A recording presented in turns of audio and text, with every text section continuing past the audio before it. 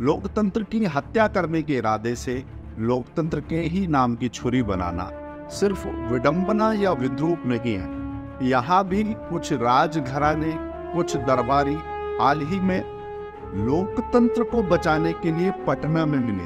वंशवादी राजनीति की जड़ें भ्रष्टाचार जनित राजनीति में होती हैं। कुछ अपराध बिना सबूत के अपराधी का नाम चीख चीख कर बता देते हैं।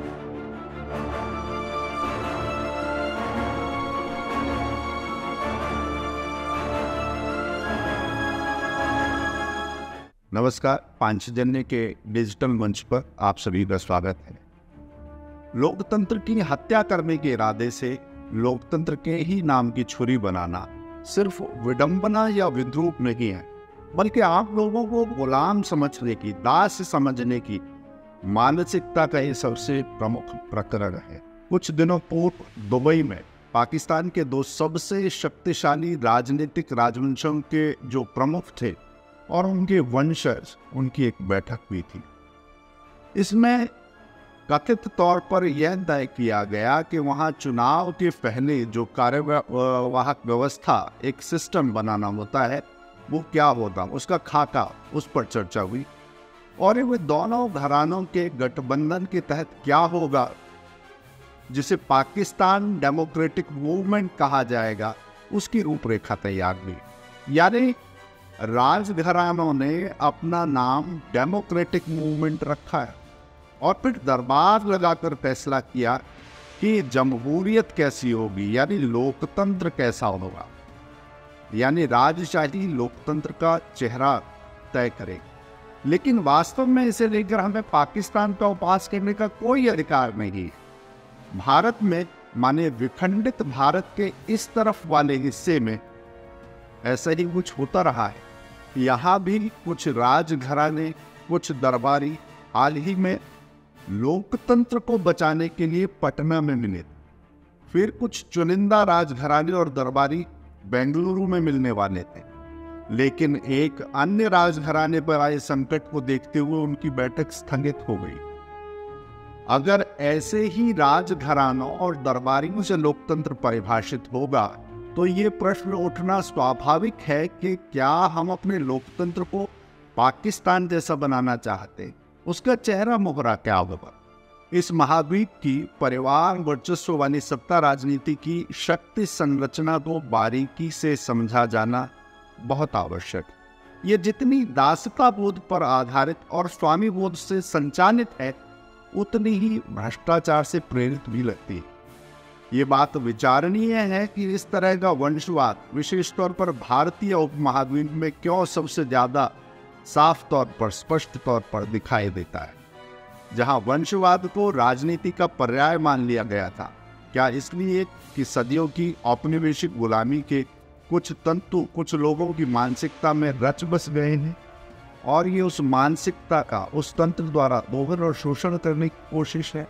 क्या कुछ लोग सिर्फ़ इस कारण प्रतिगामी किस्म की बातें करते हैं क्योंकि उन्हें अपना स्वार्थ इसी में नज़र आता है कि लोग गुलामी की मानसिकता में जीते रहे। यदि इसका लेश मात्र भी सच है तो, तो इसका अर्थ ये भी है कि इस उपमहाद्वीप को अभी अपनी स्वतंत्रता की आंतरिक लड़ाई और लड़नी होगी। इस आशय के कुछ शोध और अध्ययन उपलब्ध हैं जिनमें पाया गया है कि वंशवादी राजनीति की जड़ें भ्रष्टाचार जनित राजनीति में होती हैं। तिजोरी की चाबी किसे सौंपी जाए? तिजोरी के आधार पर राजनीति कैसे चले? और राजनीति के आधार पर तिजोरी कैसे चले? यही दुष्चक्र वंशवाद को जन्म देता है। हालाँकि कानूनी कारणों से और अति गोपनीय किस्म के सौदों को सिद्ध कर सकने की जो भारी भरकम चुनौती है, उसे देखते हुए ऐसे शोध में किसी का नाम नहीं लिया गया, लेकिन कुछ बातें बताई नहीं जाती, स्वयं साफ़ हो जाती हैं, स्पष्ट हो जाती है। कुछ अपराध बिना सबूत के अपराधी का नाम चीख चीख कर बता देते हैं। किसी भी वंशवादी दल में सिर्फ़ चेहरों और नामों की जड़ता नज़र नहीं आती, बल्कि वंशवाद, परिवारवाद की ये भी मजबूरी है कि वहाँ चिंतन, शून्यता और नीति विहीनता भी बनी रहे। इस प्रकार जो भी लोग ऐसे दलों का समर्थन करते हैं, या इस या इस प्रकार के नेतृत्व का समर्थन करते हैं वे भी कोई निर्णय अपने विवेक से नहीं लेते। वो ऐसा निर्णय लेने में सक्षम ही नहीं होते, बल्कि चीज़ों को ढोने के लिए मजबूर होते हैं। ये स्थिति राजनीति के विकास के लिए भी बड़ा खतरा है। इसे भले ही चाटुकारिता या दरबारी होने की आदत कहकर टाल दिया जाता हो, परंतु केवल इतना नहीं है। भारत ने पिछले दशक में जिस नीतिगत पंगुता या पॉलिसी पैरालिसिस का सामना किया था, उसे इस परिप्रेक्ष्य में समझना चाहिए और आसानी से समझा भी जा सकता है। उसी प्रकार कुछ संवैधानिक निकायों में कॉलेजियम के नाम पर जो परिवारवाद चला और पूरे देश में बहस चली, वो भी स्पष्ट रूप से इसी वंशवाद और वंशवाद की राजनीति से प्रेरित और उत्प्रेरित है। ये बात खारिज नहीं की जा सकती। किंतु आज अच्छी बात यह है कि ये अपराध धारा स्वयं सूखती जा रही है। कम से कम आधा दर्जन वंशवादी राजनीतिक दलों को राजनीतिक हैसियत जो उनकी थी, वो अब मात्र इस कारण घट गई है और घट ही नहीं गई है, शून्य प्राय हो गई है, क्योंकि उन दलों में दल जैसा कुछ नहीं बचा है। वो वंशवाद दल दल बन गए। अपने अपने घरानों की अकुशल अयोग्य अगली पीढ़ी को जैसे ही इन दलों पर थोपा गया तो वहाँ सिर्फ़ वंश रह गया। वंशवाद का समर्थन करने वाले भी नहीं बचे। कुनबे में दरारें दिखी, दरारों में डूबता हुई वंशवादी राजनीति दिखी।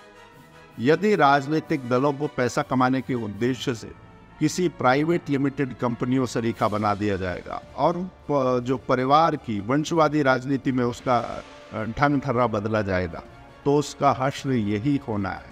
ये जितनी जल्दी अपनी तार्किक परिणति पर पहुंचेगा उन कुनबों के लिए चाहे बुरा देश के लिए उतना ही अच्छा होगा आज सिर्फ़ इतना ही धन्यवाद